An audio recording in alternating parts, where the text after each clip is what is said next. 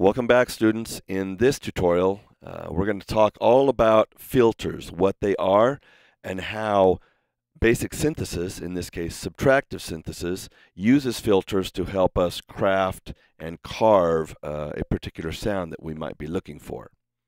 So let's look at filters.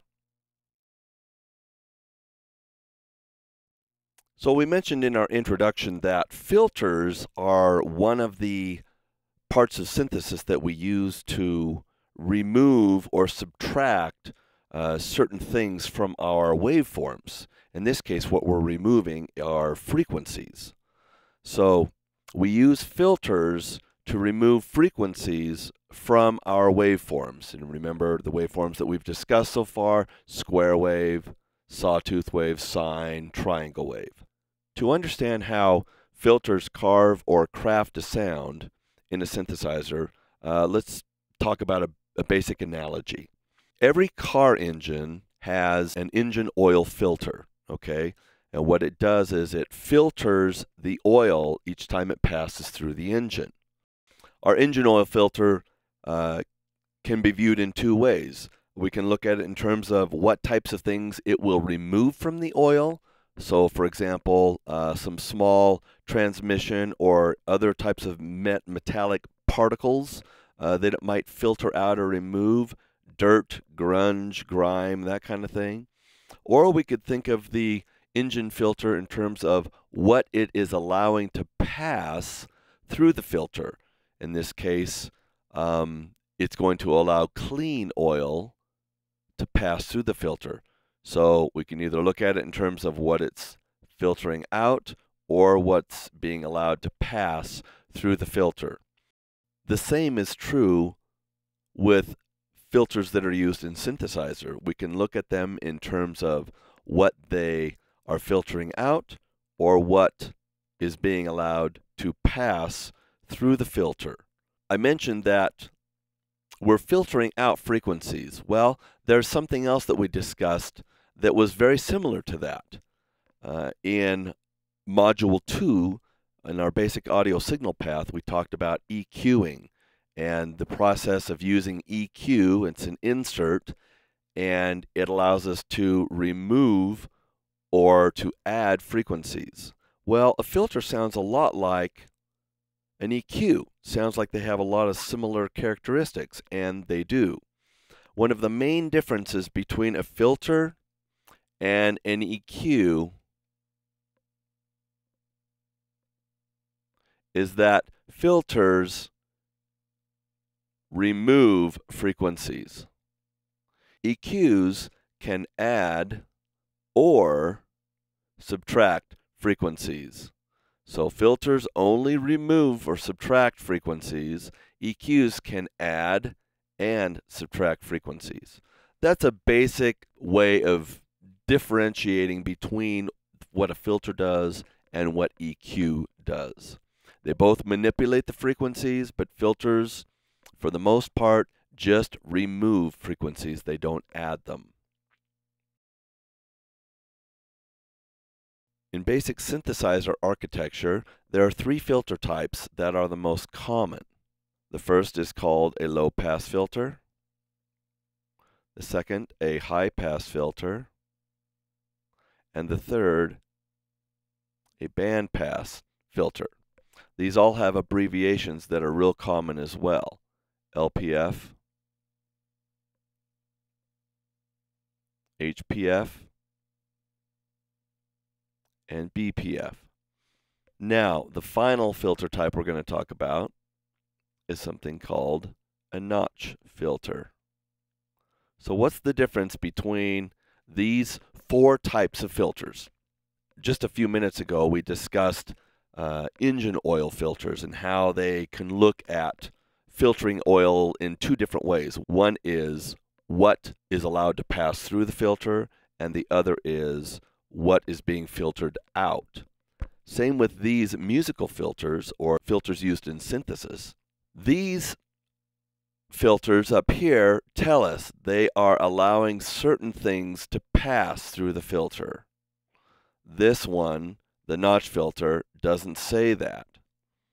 So let's diagram a couple of these filters. In earlier discussions, Module 3, when we discussed digital audio, we talked a little bit about the range of human hearing. And you remember we said that humans can hear from 20 hertz to 20,000 hertz or 20 kilohertz. So if that's the case, we could diagram a filter. If this is our frequency response, 20 hertz or low frequencies up to the very high frequencies, 20 kilohertz, we could diagram this. And we could diagram a filter. So if, the, if this is our spread from low to high frequencies, and this is our ability to add or remove frequencies, then here's a question for you. What type of filter would that be? This filter is called a low pass filter. The reason we know that is because what frequencies are being removed? Well, these frequencies here are being removed. And what frequencies are being allowed to pass through the filter? Well, these frequencies down here are being allowed to pass through the filter unaffected.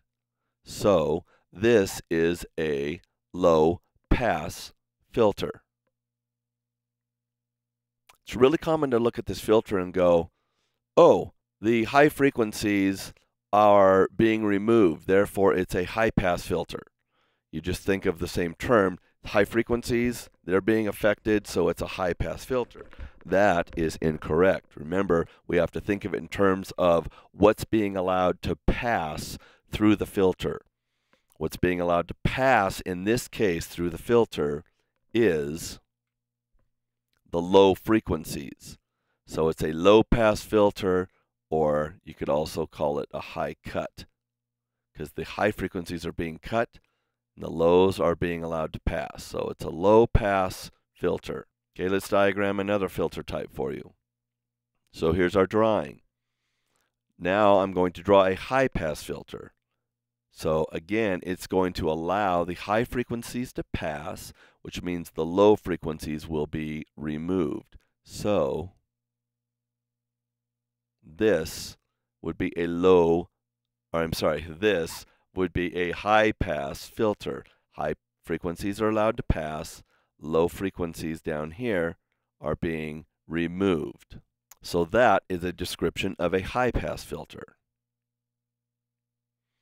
The third filter type I want to talk about real briefly is a band pass filter. Now a band pass filter is a little bit different.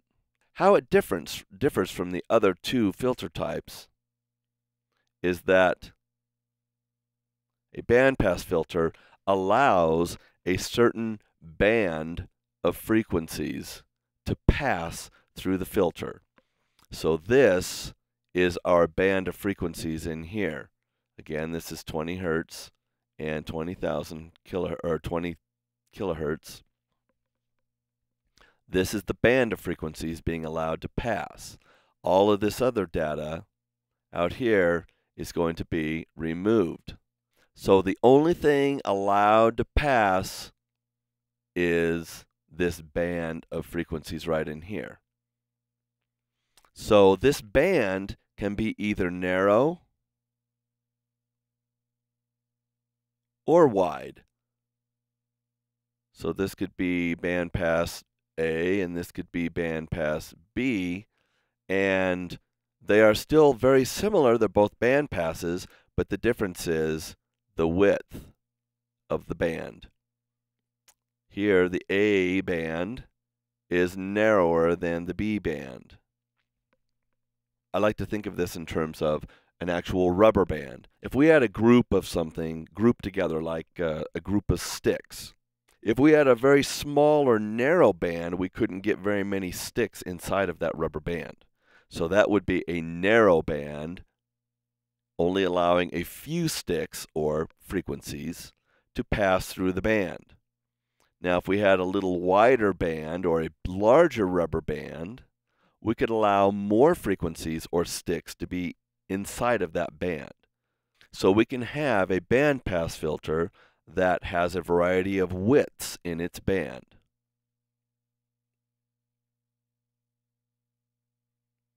This is called bandwidth. We also sometimes will call that Q or Q. It's the width of the band, the amount of frequencies in this case that are allowed to pass through the filter. Bandwidth, how wide is the band? Okay, so we can have, as an example, a bandpass filter that has a narrow band, and that band of filters, or that band of frequencies, could be like this. We could also have a bandpass filter that was like this, up here. So these are the frequencies that are allowed to pass, and they could be mainly high frequencies. The key is, is that it's only a band of frequencies being allowed to pass and everything else is being removed. Or we could have a band pass filter that was in the lower register or allowing only lower notes to pass and removing or deleting frequencies that are the very lowest and a little bit above that, all the way up to here perhaps. We can take and have a bandpass filter that is removing or allowing to pass mainly low frequencies or allowing to pass mainly high frequencies or somewhere in the middle. Okay, so we could have a bandpass filter that essentially kind of sounds like a low pass filter or a high pass filter or something in between because it's just allowing a band of frequencies to pass through the filter. So that is the bandpass filter. The notch filter is a little bit different than the other filters that we've discussed so far. The others, low pass, high pass, and bandpass filters, all tell us about the information or the frequencies that are being allowed to pass through them. The notch filter is a little bit different than that in that it tells us about what is being removed from the frequencies. So it's kind of like that engine oil uh, filter analogy I talked about. Uh, the other filters are allowing certain frequencies to pass or good oil to pass through them. And the notch filter is like looking at it the other way. What is being removed from the oil? The notch filter might look like this. It's going to notch out an area of frequencies, and that is what's going to be removed. That information right there. Okay, so it's just the opposite of the other filters. It tells us which information is going to be removed, in this case, these frequencies, rather than what information is being allowed to pass. So this is a real common uh, diagram for a notch filter. Now, could this notch filter also be have a wide Q, something like that? Sure. Or could a notch filter have a real narrow Q, something like that? That's not the best drawing, but you get the idea.